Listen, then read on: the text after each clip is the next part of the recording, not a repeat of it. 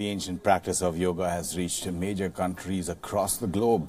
Former Maldivian President Gayoom has been in the eye of a political storm recently in his country after he was arrested and sent to jail. In an exclusive conversation in this, uh, what his daughter Dunya Gayoom actually has to say on her family's experience with yoga.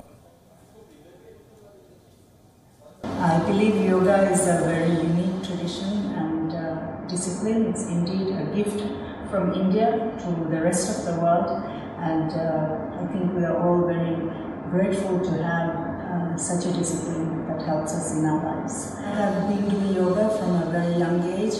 Um, both me and uh, many members of my family are also practicing yoga, and it has helped us uh, in our lives.